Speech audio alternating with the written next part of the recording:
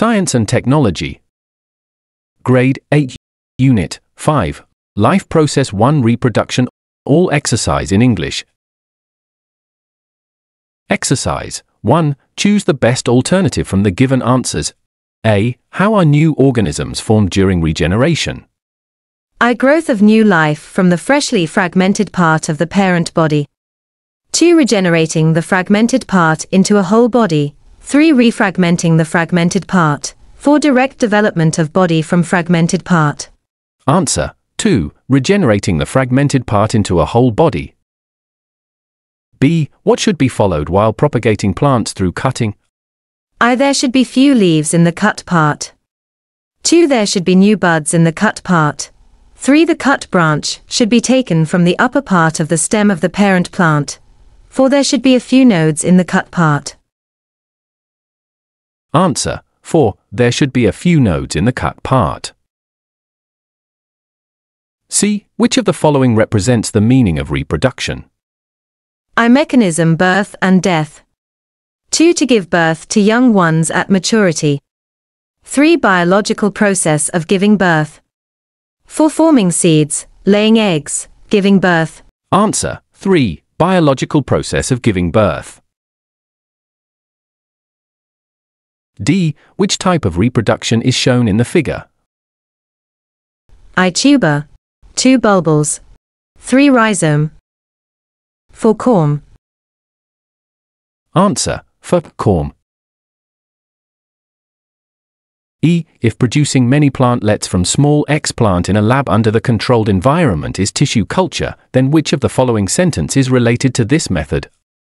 I. Only a small piece of stem or branch of the parent plant is taken. 2. Whole part of the plant is taken. 3. Small cut pieces of both plants and animals can be taken for generating offspring. For it can be done only in non-flowering plants. Answer I. Only a small piece of stem or branch of the parent plant is taken. 2. Differentiate I. Fission and budding. Fission, the process of an organism dividing to become two new organisms, is called fission. There are two types of fission. Amoeba, Euglena, and Paramecium undergo the fission process. Budding. Budding is the process of forming a new organism by growing a small bud on the side of the organism's body. There are no types of budding. The budding process occurs in yeast, hydra, and jellyfish.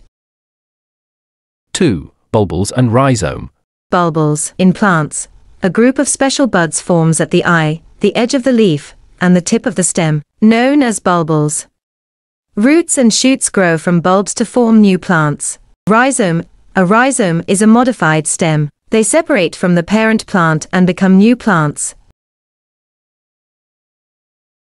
3. Natural and artificial. Natural. This method cannot produce early fruiting plants. Roots, underground stems, above ground stems, leaves, bulbils, etc., are examples of this. Artificial. With this method, plants that bear fruit quickly can be produced. Cutting, grafting, layering, grafting, Tissue culture are examples of this. For layering and grafting. Layering. Layering is done on plants with low, soft branches that continue to branch even after they die. Lemons and grapes are examples of such plants. Grafting. Grafting is a technique used to connect two parts of the same species, or closely related species. Mango, lychee, and orange are examples of plants commonly grafted. 3. Give reason A. Asexual reproduction has no concept of male and female. Answer. Asexual reproduction occurs without the union of male and female sex cells, so there is no distinction between male and female in asexual reproduction. B. The reproduction from the tuber of a potato is called vegetative propagation. Answer. Since potato tubers are propagated from underground stems, Reproduction through potato tubers is known as vegetative propagation. C. Farmers will be benefited from grafting techniques. Answer. Farmers benefit from grafted plants because they are produced quickly, are of good quality, and result from joining the parts of two plants of the same species or closely related species. D. Tissue culture is considered the most advanced method among other methods of vegetative propagation. Answer.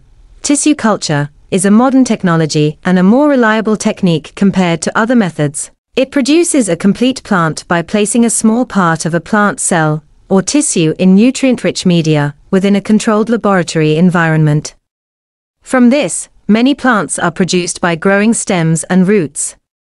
Therefore, tissue culture is considered a more advanced technique compared to other methods of artificial vegetative propagation. For answer the following questions. A. What is reproduction? Give an example. Answer. Reproduction is the process by which living organisms produce offspring similar to themselves through biological processes. For example, fission, budding, and regeneration are examples of reproduction. B. What are the types of asexual reproduction? Describe any one of them if brief. Answer. The methods of asexual reproduction are as follows. A. Fission B. Budding C. Fragmentation. Regeneration E. Sporulation F. Parthenogenesis. Budding. Organisms such as yeast, hydra, jellyfish, and coral reproduce by budding.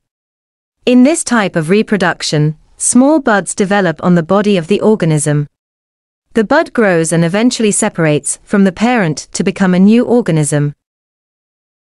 C. Describe the budding process in Hydra with suitable figures. Answer. Hydra reproduces by budding. In this type of reproduction, a small bud grows on the side of the hydra's body.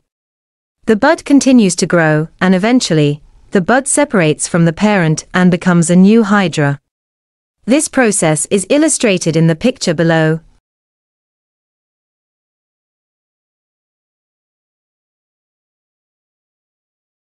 D. Make a flowchart of the methods of vegetative propagation.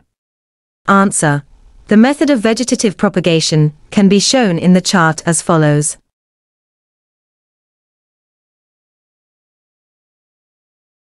E. What kind of reproductive unit is bulbil?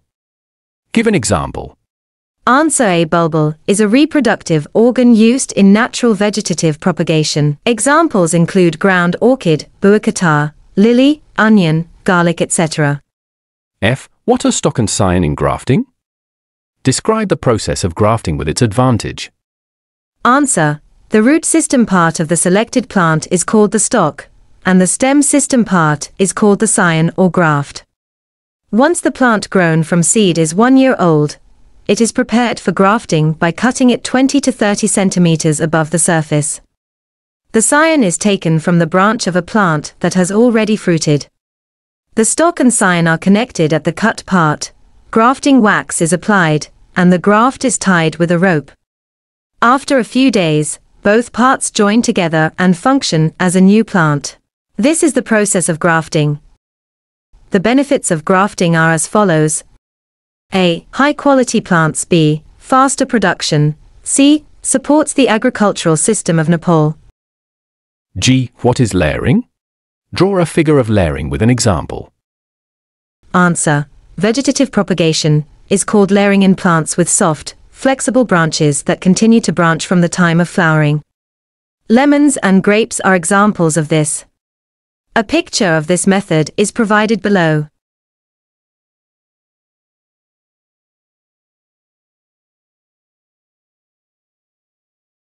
H. Write down the name of the method of asexual reproduction in the following organism.